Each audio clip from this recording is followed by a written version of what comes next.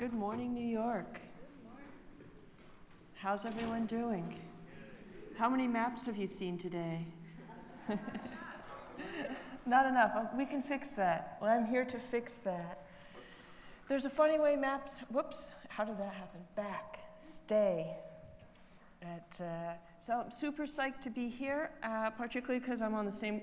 I've been friends with Lucy Lippard for 20 years, which is pretty thrilling, but I don't know if we've ever done anything in public together before. So to be co keynote with Lucy is totally thrilling. So, and uh, Lucy, who is an early Soho dweller and is actually from this neighborhood. Me, my mother was born in Brooklyn, but I'm a San Franciscan. So, and I'm here to talk. My way of getting at urbanism lately um, has been through maps. And maps are ubiquitous in one sense and completely missing in another. A lot of younger people don't own maps and atlases and don't have the knowledge a map gives you. We call things like MapQuest and Google Maps on your phone interactive because they give you data, but, but are they? Are they interactive? It's a system that largely gives you instructions to obey, and certainly obedience is a form of interaction, maybe not my favorite one. At, uh, but a paper map you take control of, use it as you will, mark it up, and while you figure out the way from here to there yourself instead of having a corporation tell you, you might pick up peripheral knowledge, the system of street names, the parallel streets, and alternate routes. Pretty soon you've learned the map, or rather, you have via map learned your way around the city. The map is now within you. You are yourself a map, and thus it is that all of us are atlases. Anyone, of, anyone in this room must contain hundreds of maps of all kinds of things from your childhood home to the way you got here this morning, to the places you avoid, the places you made out as a teenager, and uh, everything in between. So uh, this is an art conference about cities. So why am I talking about maps? Because I love them, because I make them, because we need them, because they show us where we are in ways nothing else does, except that there aren't very many of them showing us anything more than the mainstream consensus of who and where we are anymore. This is a little snapshot from when I was making an Atlas of Laramie with the students at University of uh, Wyoming. And one morning I was looking at the New York, this is the New York Times, that's my coffee cup. And it was about how ubiquitous the sort of maps we hardly even notice are. And um, except that, you know, I'm not sure how many people use them, maps like that very intensively. So we have these maps that are kind of a mainstream consensus all around us now. Google Maps will show you freeway exits and people seem to add restaurants in particular to them, creating a landscape about driving and consuming. But these things are not more real than bird migration routes, incidents of violence, property ownership, or other things that are equally mappable. They teach us what to see and, by extension, what not to see. So we have two problems. We're spending less time with maps, and the maps that we are spending time with are less likely to show us the world in any subversive and exciting ways. Google writes Evgeny Morozov in Slate intends to start making all the maps we get from them, quote, dynamically generated and highly personalized, giving preferential treatment to the places frequented by our social networking friends, the places we mention our emails, the sites we, isn't it nice that they have access to all your emails?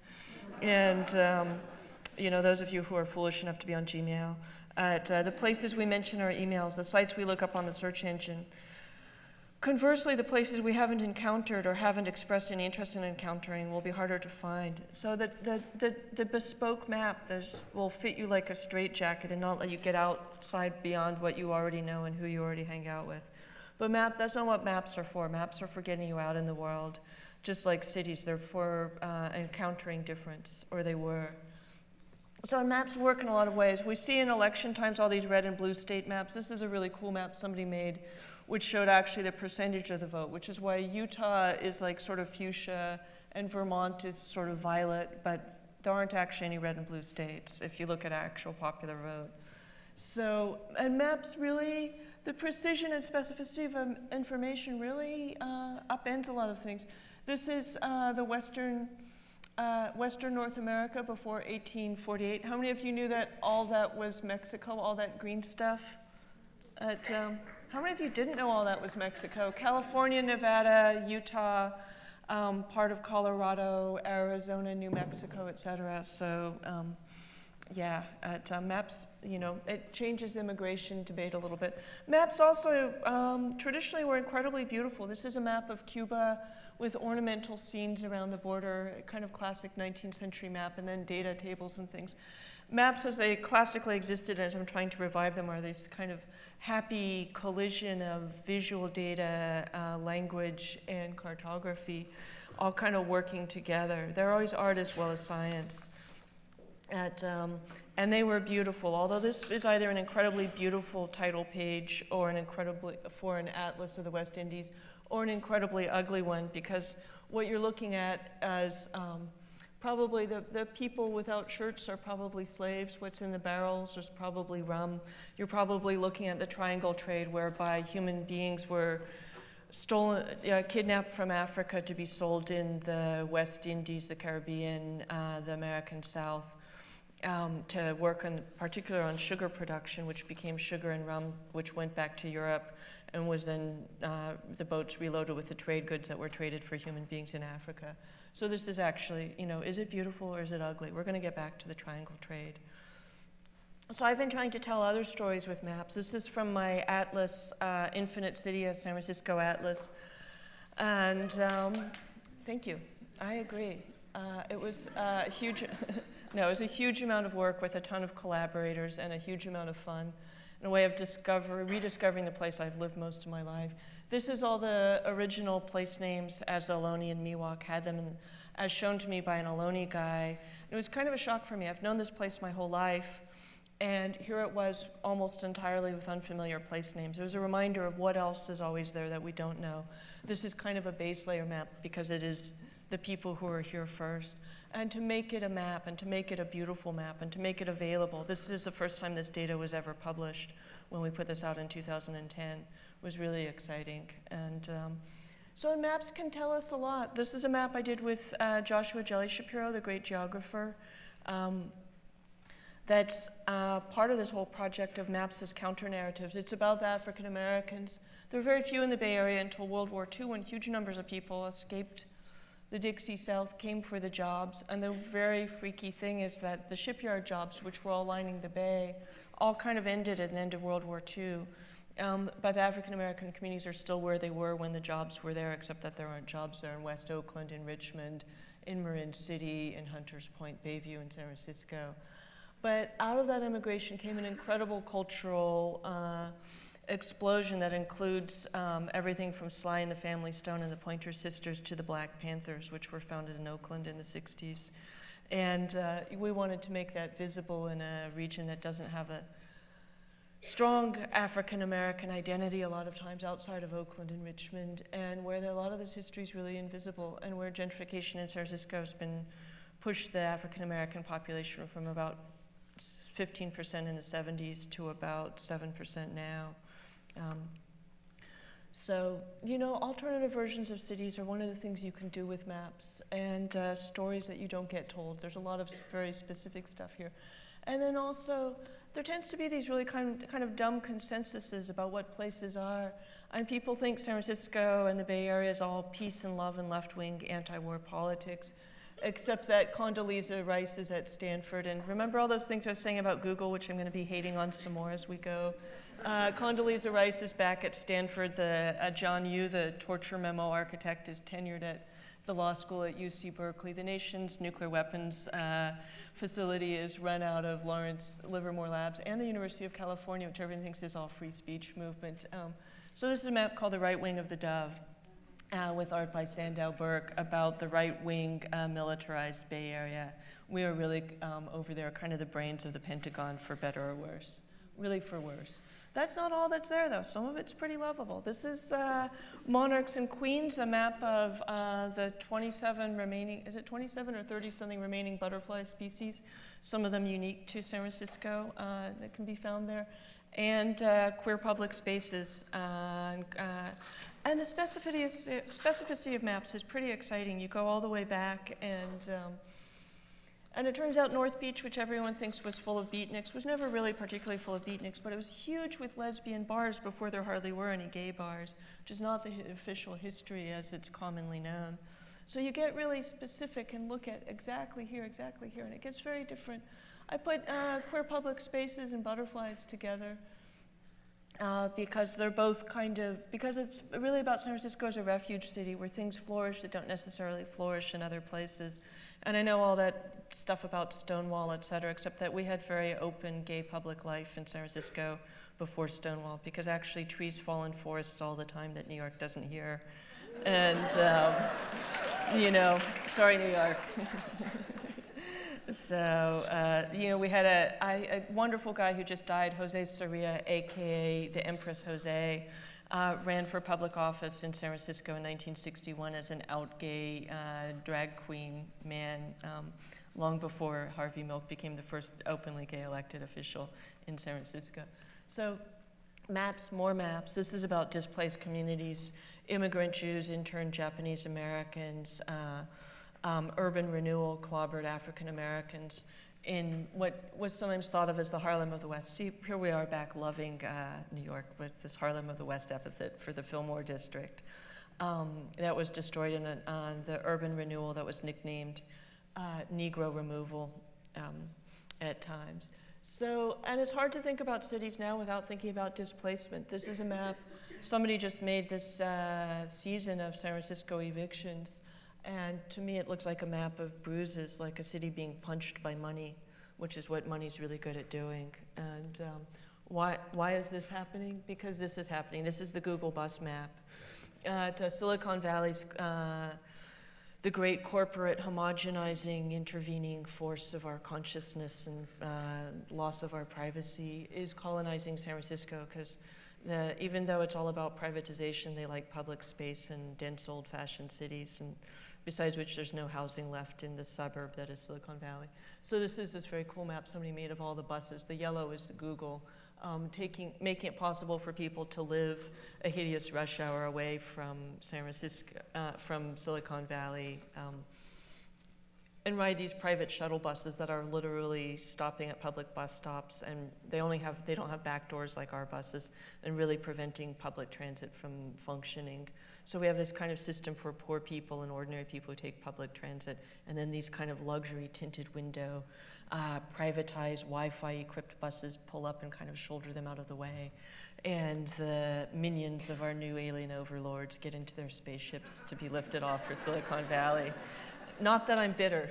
But, uh, so this is back to Infinite City. This is a map I did with Heather. Heather, are you in the house? Yay! I did with Heather Smith uh, was really interested in the way you could map a, the centenarian, a centenarian born in San Francisco, in this case four, um, that somebody's whole life could be depicted on a small map like this. And the cartographer Shizue Seigel made their lives into these lines, so you could see it as though 100 years of somebody's life had been a single trek around a city in a day. And, um, and then it started to feel pretty sweet, so I found somebody had mapped 500 evictions and as Heather pointed out, uh, why were these people in San Francisco for a century? Because they actually owned their homes. Uh, scattered all around them, like, uh, you know, maybe uh, smallpox uh, sores, you can see evictions in the red dots. So this is some of the stuff I've been trying to map. Uh, Atlas number two is out this week with some parties tomorrow, Monday and Tuesday around New York. And um, it's supposed to be a trilogy. Should I do a New York Atlas? Do you all want to work on it with me? Yeah. Okay, we should have like a. At, uh, so New Orleans, I got real involved with. Thank you. Um, uh, there it uh, probably will be. So this this new book with UC Press is out with about 50 people contributing in various ways. I'm just the kind of the co-circus ringmaster, and. Um, making these maps is a crazy amount of work and a great adventure. And um, New Orleans is a place I got real involved with after Hurricane Katrina, particularly in investigating racial crimes that weren't made visible because official narrative was about uh, crazy, out of control black people, and even though most of the poor people were actually incredibly altruistic and awesome, and the real violence was the police and the white vigilantes. But that's in my A Paradise Built in Hell. But like a lot of people who came to New Orleans after Katrina, I kind of fell in love with the place and created um, excuses to stick around. And uh, worked with a native New Orleanian, Rebecca Snedeker, because you can't really get too deeply into New Orleans as an outsider without uh, some inside help. This is a map um, that's also trying to address what is a city, where are its boundaries. New Orleans is this, you know, is the white spot right up there, but um, in New Orleans is the most incarcerated neighborhood in the most incarcerated city in the most incarcerated state in the most incarcerated country in the world. Central City is that place. You can really think of the prisons all over Louisiana as suburbs of inner city New Orleans. And this is a map of these failed systems of containment that attempt to control people through uh, prisons to control water through levees and the huge water systems on the Mississippi, the way that they've failed over and over, the way that people and water insist on being free. And um, so and this is an unfinished version. There's this one with a slightly better orange loop. I was talking about the triangle trade. Uh, this is a map. Uh, this is my anti-triangle trade map because we talk all the time about the triangle trade. So, what came with those Africans from Africa when they came to the New World? Memory and culture came. In the United States, those things survived in New Orleans as no place else and became the foundation of most of the popular music you've ever listened to in your life, including jazz, R&B, rock and roll, and um, and everything that came out of those. And you know, and during the Arab Spring, I was so moved to see that hip hop was a big part of the Arab Spring in different ways. And we call it the Arab Spring. We could have called it the North African Spring because it was all across North Africa. And to see this music that had ultimately come from Africa go back to Africa as part of, the, part of liberation was kind of amazing. And so this is a map of that history and its specifics in New Orleans of uh, both the music and the liberation and um, the traditions of resistance and the kind of larger world in which these things circulate because the boundaries of a city, you know, maybe every place that's ever listened to the music that came from New Orleans is New Orleans, which is why we claim it's immortal, even though it'll probably um, get really troubled by sea level rise and uh, climate change. It is already.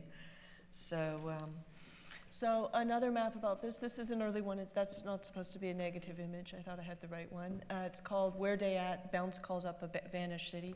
How many of you know about bounce music? Yeah, yeah. Sorry, there will be no twerking on this stage. But um, maybe later. Maybe Mel Chin will do some twerking for you. But um, so, but this is where it's all born. And what's crazy, it came out of the housing projects. And what you might, you, you sounds like a lot of you know about the ass shaking, sexy parts of bounce. What you might not know about it is it's deeply and passionately geographical. As New Orleanians have a relationship to place and a sense of memory and a sense of public life that's sort of missing to eh, comparatively in the rest of the United States. And you shout, you shout out about your housing projects, the schools you went to, et cetera. And after Katrina, the projects got shuttered. The schools all turned into kind of conservative, sometimes militarized charter schools, and their names got changed. And so this is a whole map of New Orleans that disappeared everywhere except in music, where it lives on and uh, with fantastic art. An amazing essay by uh, the New York music writer from Jamaica, Garnette Cadogan. And I, um, so, and you know, there's so much more I could say. I see this thing sort of, I don't know if you know, we have this clicker. I'm at 18 minutes and seven seconds. And uh, so this is, you know, this is the last map I'm going to show you. It's called Lead and Lies, Mouths Full of Poison. It's about what you don't see in cities that shapes them anyway. Uh, the, the base map is a map some scientists made of lead concentrations in the soil in uh, New Orleans. Uh, the map's gorgeous because the designer Lia Tjandra at UC Press tends to make everything that way. And the ornaments covering it, like uh, that looks so ornamental from a distance, each of them is a lie in history. For example, at uh, May 25, 1862, General Butler of the Union Army infamously decrees that either women of New Orleans will pretend that they don't despise the occupying Union Army, or the Army will pretend that they are members of a despised profession, prostitutes.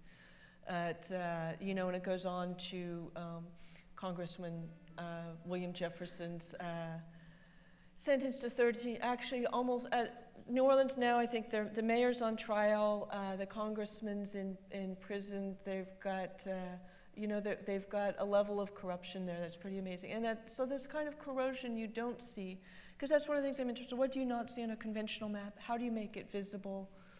How, you know, how, how does this process of making visible bring us more deeply into cities?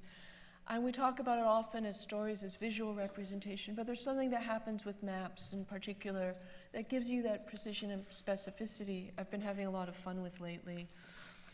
That lets you talk about the Silicon Valley takeover of San Francisco, or, or toxicology, or rising ocean water, or original place names, as nothing else does.